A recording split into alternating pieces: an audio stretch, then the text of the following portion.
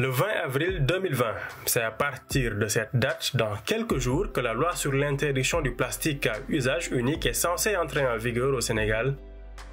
Mais comment les acteurs appréhendent-ils la transition? En sont-ils même informés? Nous sommes allés à leur rencontre avant l'apparition de la maladie au nouveau coronavirus au Sénégal. Des vendeurs d'eau, de boissons aux importateurs en passant par les marchands ambulants ou boutiquiers, la même question de l'alternative à trouver au plastique occupe tous les esprits. Nouvelle loi sur le plastique, avenir incertain pour les emplois du sachet, c'est un grand reportage signé Fatma Mbake.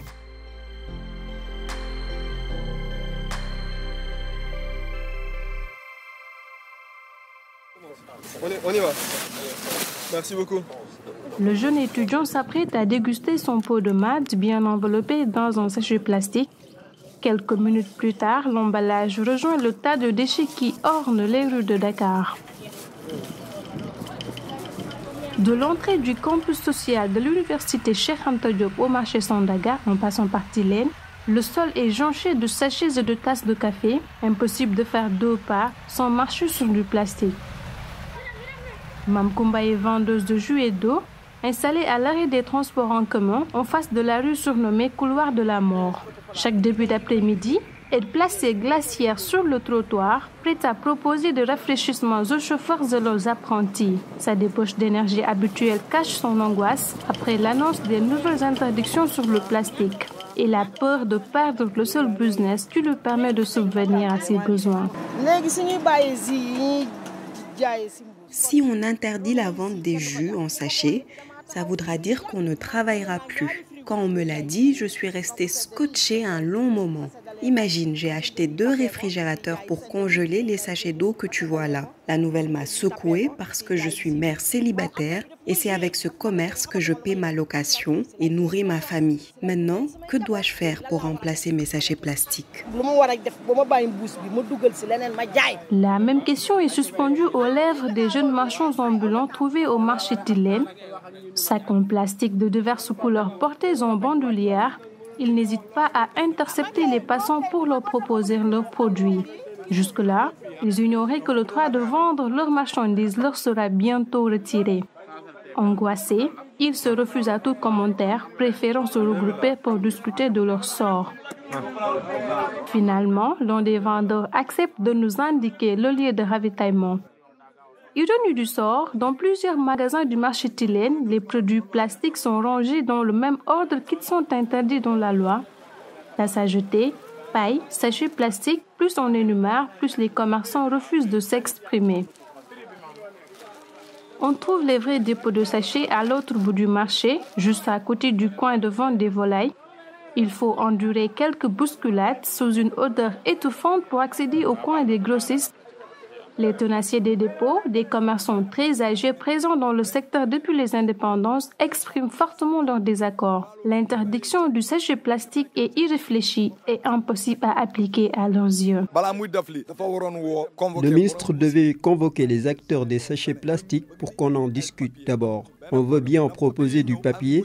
On n'a aucun problème avec cette matière, mais il faut l'introduire petit à petit, le temps d'épuiser le stock de plastique. L'autre solution, certains se chargent du ramassage de déchets plastiques. Nous allons les acheter pour les revendre aux usines qui font le broyage oui, les usines ont des machines de recyclage. Le ton est acerbe. Le discours de Lamine Doumbouya est sans concession. La raison est sans doute qu'ils vendent des sachets plastiques depuis 1989. Deux autres grossistes avec plus d'expérience s'invitent à la discussion Aladi Bonjon tient des dépôts à Rufusque depuis 1953.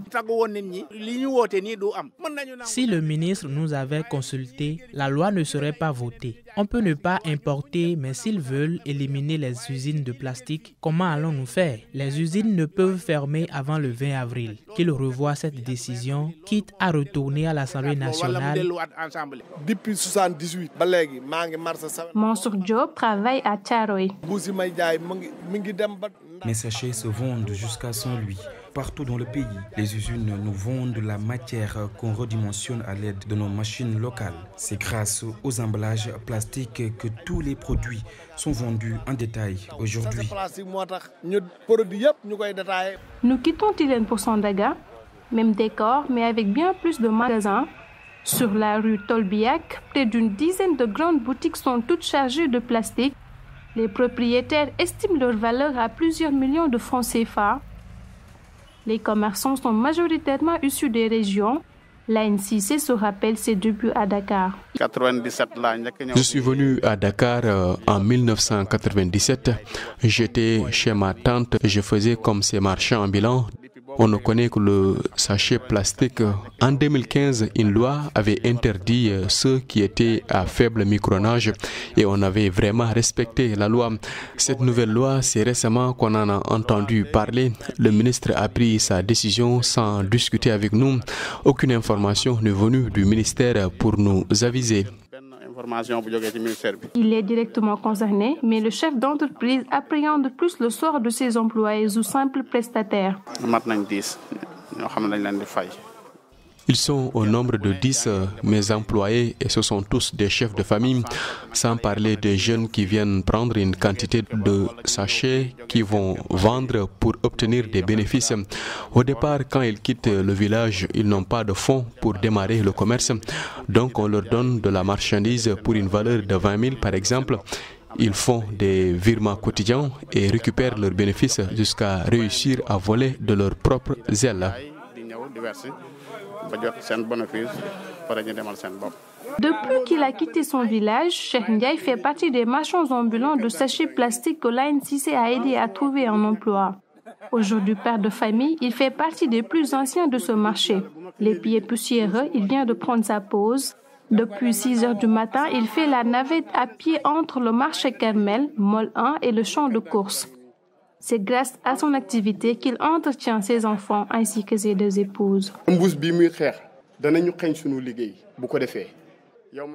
Combattre les sachets nous fera perdre notre emploi si cette loi aboutit. Personnellement, je n'ai jamais attendu de quiconque un travail. C'est avec un budget de 8000 francs CFA que j'ai démarré la vente de sachets. Et tout ce que j'ai eu à accomplir dans ma vie est parti de cette somme.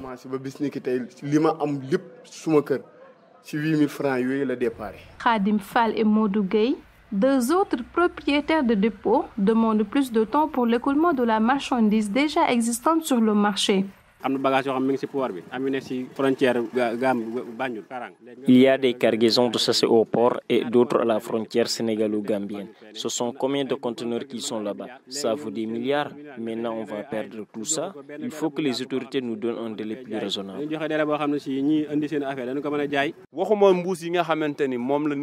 Je ne parle même pas des stocks en attente aux frontières, mais même ce qui est sur le marché ne peut pas être épuisé en trois mois il reste un mois et quelques jours avant l'application. Les Sénégalais devaient en principe commencer à voir sur le marché les produits alternatifs aux sachets plastiques. Mais chez aucun fournisseur, on ne peut avoir une autre matière censée remplacer les sachets plastiques. 13 heures passées de quelques minutes, les devantures de boutiques se remplissent petit à petit. Les marchands ambulants qui affluent vers le lieu se comptent par dizaines. Ils se regroupent pour discuter et se reposer le temps d'une pause. Mamdiara, la vendeuse d'eau, connaît l'heure idéale. Elle se pointe avec son plateau chargé de sachets et commence à les distribuer aux travailleurs. Mariée, elle quitte chaque jour la banlieue pour rallier la ville. Ce commerce lui permet d'assurer sa subsistance. Le paquet est à 800 francs. Après la vente, on gagne 700 francs. On peut vendre jusqu'à 7 à 8 paquets dans la journée. Les garçons gagnent même plus parfois. Des vendeurs d'eau fraîche ou de jus comme elle sont à chaque détour de rue ici à Sandaga. Une vendeuse accepte de nous expliquer son business. Jusqu'à Petersen, elle est interpellée en permanence Très dégourdie, elle répond sans jamais se lasser et récupère fièrement 50 francs le coût du sachet d'eau. Nous voilà arrivés dans une grande maison. Des réfrigérateurs sont disposés dans la vaste cour. Les revendeurs venus se ravitailler forment de longues queues. Trouvés sur place, Pape Keita nous explique. En général, en général, ce sont les villageois qui, en temps de conjoncture au village, viennent ici prendre des sachets d'eau qu'ils revendent. Il y a aussi des étrangers qui n'ont pas de tuteur. Je les héberge ici. Je leur donne des sachets qu'ils revendent à un prix bénéfique. Après,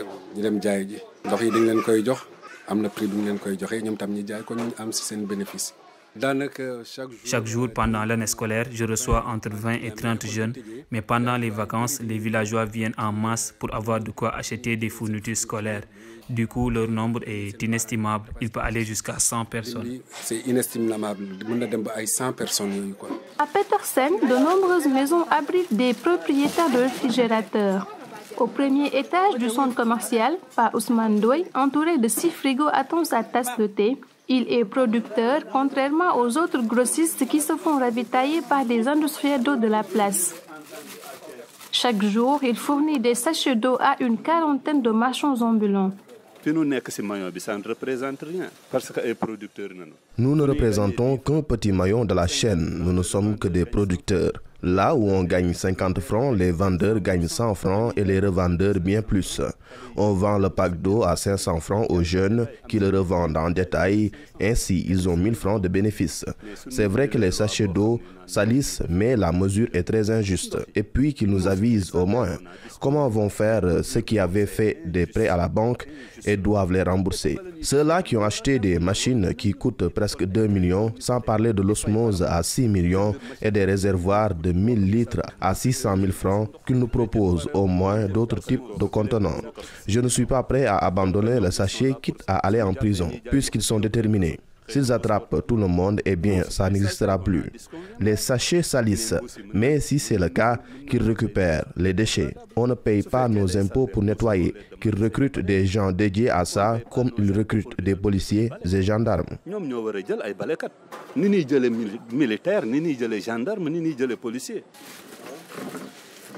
Les mêmes scènes se déroulent à l'intérieur du garage de Petersen.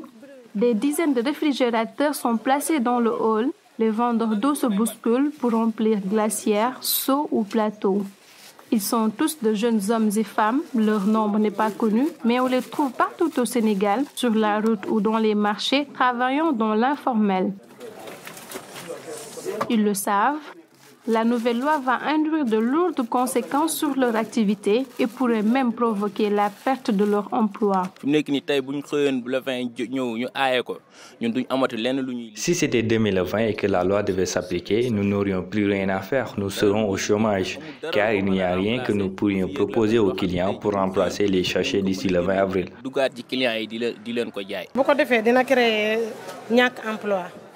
Ça créera des pertes d'emplois car beaucoup gagnent leur vie grâce à ça. Nous n'avons rien d'autre à faire. Notre seul métier, c'est de vendre des crèmes. En plus de l'interdiction des sachets, même les bouteilles auront un usage limité du fait du système de consigne. Boniface Cacheux est conseiller juridique du ministère de l'Environnement. Si vous allez acheter euh, une bouteille d'eau, par exemple, en plus du prix, vous laissez un petit montant qui vous sera restitué lorsque vous rentrez la bouteille. L'intérêt de cette mesure, c'est d'augmenter de, de façon considérable le taux de collecte des bouteilles en plastique. Les producteurs, les distributeurs seront obligés de mettre en place des points de collecte de ces bouteilles. Comme ça, euh, elles ne vont pas se retrouver dans la nature euh, ou dans, dans les mers. Si on doit utiliser des bouteilles, nous ne pourrons plus vendre. Ça reviendrait trop cher aux clients et ils préfèrent les sachets, sans oublier que c'est plus bénéfique pour nous. Pourtant, la transition semble avoir déjà commencé. En tout cas, chez certains vendeurs de boissons chaudes qui optent pour les tasses en papier plutôt que les tasses à jeter en plastique. Mais à y voir de plus près, la justification de leur préférence est purement économique. Ces tasses sont plus avantageuses pour nous. Le volume de café qu'elles peuvent contenir est petit. D'autre part, c'est mieux pour la protection de l'environnement.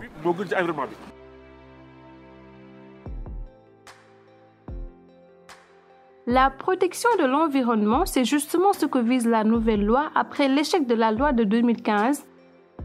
La réglementation visait les sachets à faible micronage, plus légers et polluants, mais n'a pas connu d'application. Des manquements résolus dans la nouvelle loi, d'après le ministère de l'Environnement, qui promet un meilleur suivi des interdictions. Malgré tout, À quelques jours de leur entrée en vigueur, le décor n'a pas changé à Dakar et les commerçants premiers concernés se disent exclus du processus et prédisent même un nouvel échec.